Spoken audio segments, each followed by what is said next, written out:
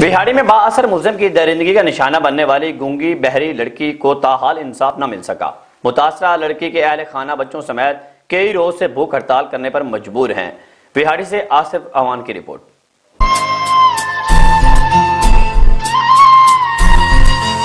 بہاڑی کے نواحی علاقہ تھانہ لڈن کی حدود میں بااثر ملزمان نے گنگی بحری لڑکی کو زیادتی کا نشانہ بنا ڈالا۔ کئی روز گزرنے کے باوجود بھی ملزمان گرفتار نہیں ہو سکے۔ اس پر متاثر لڑکی کے رشتہ دار خواتین نے گھر کے سامنے احتجاجی کیمپ لگا کر بھوک ہڑتال کر رکھی ہے۔ خواتین کا کہنا ہے کہ بااثر ملزمان مبینہ طور پر پولیس کی ملی بغیر سے سنگین نتائج کی دھمکیاں دے رہے ہیں۔ پولیس والے ملزمان کے ساتھ مل گئے ہیں۔ ہماری کوئی سننے والا نہیں ہے۔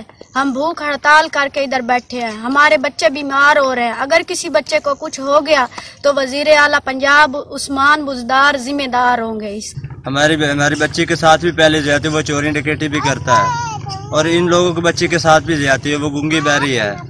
لہذا ہم لوگوں کو انصاف چاہیے۔ جبکہ افسوسناک خبر افسوسناک خبر یہ ہے کہ کئی روز گزرنے کے باوجود اعلیٰ افسران کا کوئی بھی افسر یہاں پر تشریف نہیں لے کے آ سکا۔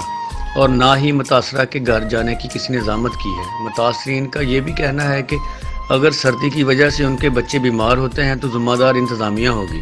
متاثر لڑکی کے اہل خانہ نے وزیر اعلیٰ پنجاب سمیت دیگر اعلیٰ حکام سے نوٹس لینے کا مطالبہ کیا ہے جی جی آصف اوان سٹی نیوز بہاڑی۔